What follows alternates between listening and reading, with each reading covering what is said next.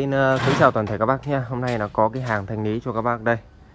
Uh, Trước mặt các bác là cặp uh, súp uh, Mẫu năm 2002 Sử dụng nắp cụ bát là bát 50 Từ 22 côn trăm. Con này thì uh, hơi bị khủng rồi. Hơi bị khủng đây là công suất Đánh vào quá khủng khiếp. Lần đầu tiên em dùng chữ quá Bởi vì quá là nó thừa rồi. Đánh đến mức mà cái bát của nó sổ hết khỏi côn ra. Tháo hết chưa? À, Bây giờ anh em là tháo ra Để thay bát khác Mà có khi không thay nữa. Thành lý luôn cho các bác cặp xúc này. Cặp này trước em đáp lên giao khách là 15 triệu. Bảo hành cho các bác là đánh Trong vòng là 6 tháng Nỗi do nhà sản xuất bên em hỗ trợ. À, Bảo hành hoặc là trao đổi luôn của bát Còn đây là đánh quá tay. À, Nên là không có chuyện bảo hành được. À, Sẽ bị mất một chút chi phí. Và hệ thống đẩy uh, em nắp để mà đánh cặp này đó là con uh, cục đẩy ACIF màu xanh xe 1500 tài 8 ôm là 1500W một cây. Đấy các bác xem nhé. Đây cổ bát này. Con này thì khột khột luôn rồi. Đây là cái à, bài học nhớ đời cho các bác nào đi làm tổ chức sự kiện tiệc cưới hoặc là cho thuê âm thanh. Đấy. nhận giá thì không cao mà cứ uh, quảng cáo quá đà cái là dính đọt ngay à, cặp này thì nó không có vấn đề gì cả. Chỉ có mỗi vấn đề đó là khi đi vận hành xử lý đám cưới thì đánh thoải mái tiệt ga không sao bởi vì không gian diện tích nó vừa phải. Còn đây là đánh theo kiểu là đánh ờ, không phải tháo ký đâu em ơi. Tí ờ, cho con này nằm xuống tháo đây là đánh cho thuê khu vực sân nó kiểu kho bãi công trường rất là rộng lớn không có người trông coi. À, thì đại ca là về ăn cơm được 15 phút lúc sau thò mặt ra cái là thấy là súp khóa hết rồi không trông coi cái này nhớ đời luôn. Nên là cặp này anh nhờ thanh lý hộ là với mức giá 10 triệu. 10 triệu đây là sơn lại đẹp này sơn đẹp như là thùng a dây này này. Được chưa?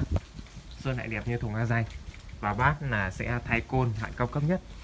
À, ước tính à, chi, chi phí để sửa lại một cặp này nó vào gần 3 triệu. Các bác nhé tổng chi phí sửa lại cặp súp này là gần 3 triệu nên là bán giao lưu với các bác là 10 triệu giá tại cửa hàng. Các bác nào quan tâm thì liên hệ trực tiếp với em sau khi uh, làm lại xong cái thì em sẽ quay tiếp cho các bác xem. Phần 2 còn bây giờ là anh em chúng ta là tháo ra để uh, mang cụ bát cho đội thợ chuyên sửa cổ loa thay côn tổng chi phí sửa lại gần 3 triệu. Là bao gồm cả tiền sơn lại thùng này sửa lại bát này. Đấy. Tốn tiền lắm các bác ạ. Đấy. Mang tiếng đồ làm rất là ok mà cuối cùng mà đi mà không có người trông coi cái là thôi, dũng dũng như sung này. Nên là đại ca bảo là anh chán lắm rồi, anh cứ vứt về đây. Để chú kiểm tra giúp anh. Đấy. Thế đây là tủ máy này, tí em sẽ mở ra cho các bác cùng xem. Chán đời. Đây bài học nhớ đời nha, các bác nào đi trông coi, đi à, cho thuê âm thanh mà không có người trông coi cái là cứ niệu hồn nhá đấy nhá đây là cái đây là cái ví dụ nó không còn hồn để mà niệu đây. Đấy, ok, chúng ta sẽ tháo nốt ra đấy, mời các bác cùng xem. Đây các bác xem nhá. ACIF MU uh, Servo Power top 2 và DE Acoustic TD1003B là top những cục đẩy mà ngày xưa săn đón thì mua rất nhiều. Cục đẩy này thì em không có cung cấp nhé con rốc hai kia thì em dám nhận em cung cấp và cái con uh, TD uh, xe 1500 kia, em cũng dám nhận là em cung cấp. Con này thì máy khá là khỏe này. Đấy. khá là khỏe. Con này một đập a dây thì tít mù. 108 không vô 108 Đấy. Mạch Class 3 nhìn cái phần mặt sau của nó rất là giống cái con xe 1500 kia. Con này nó chỉ được tầm 1003 thôi pick được 1003 8 ôm 4 ôm nó khoảng tầm là hơn 2000 tỷ giá mô nó vào tầm uh, khoảng tầm gần 2000 hơn 2000 tí tùy từng loại. Con này xem điện áp đây 200V 2070 à. đây sàn máy hiện tại anh đang dùng đây đang cố bảo là thôi anh ơi anh anh cố lên cái con uh, cốt làm con cốt để chia quay chia luồng xong bắt đầu nó có com mini luôn thì nó dễ hơn. Nhưng con này thì nó tiện thôi nó có bluetooth có cáp quang. Đấy đỡ phải cắm dây. Cũng được thôi con này thì nguồn của nó nguồn sai 3U đấy. Cũng được đúng không?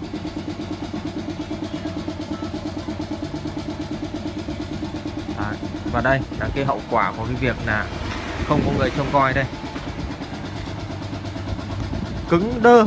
Đấy, phone cứng đơ không ấn được nữa. Không ấn được luôn. Cứng đơ. Con này thì mà vẫn ấn được nhé.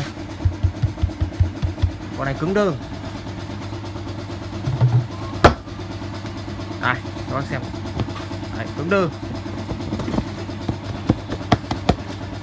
Và tép thì à, cũng thôi xong.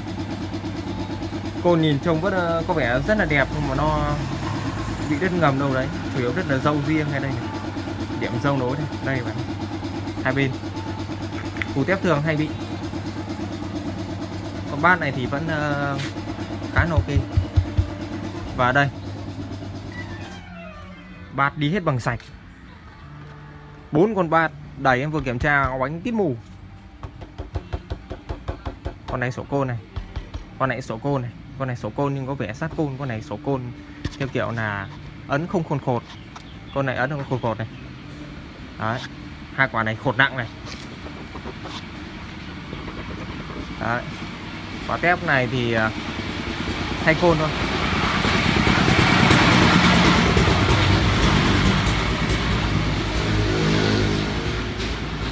Thay côn thôi. Các bạn chỉ có thay côn thôi. Bởi vì uh, loa dây của anh ý là không đồng bộ nên là bây giờ cố phải dùng uh, mọi cách này. Và đây là thùng đây. Thùng ngày mai em sẽ sơn lại thùng.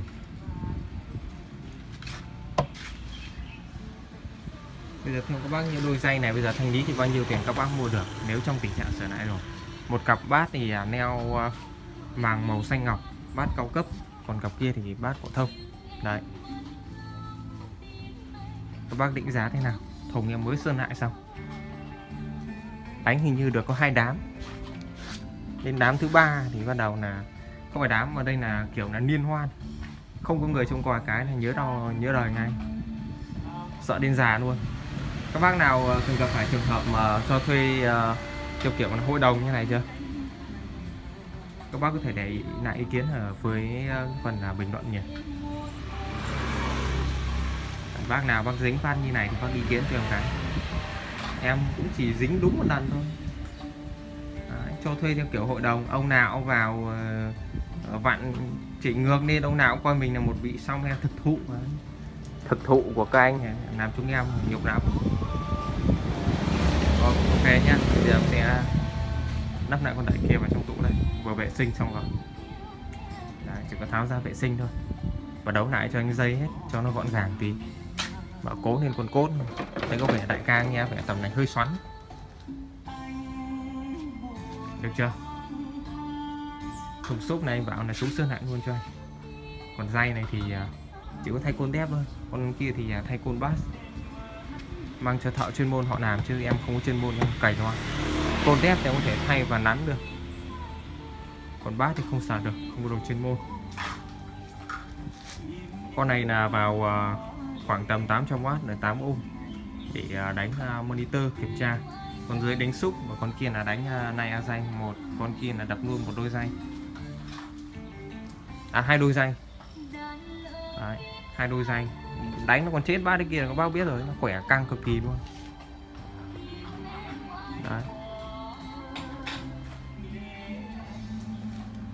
Anh hôm qua anh kể là lúc anh đến nơi là anh thấy con nào cũng hết cỡ này đấy xong là níp níp níp níp xăng rực hết cỡ lên. Bởi vì các bác biết là con xe 1500 này nhá đèn của nó nó chỉ cần hơi chớp chớp clip thôi là liệu hồn này là đạt đủ công suất đủ.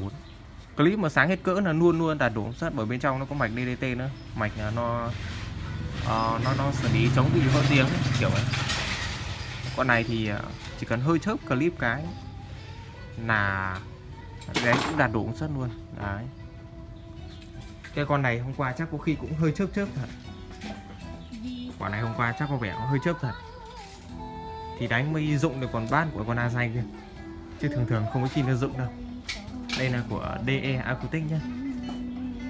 Máy các bác nhìn đây. TD 1003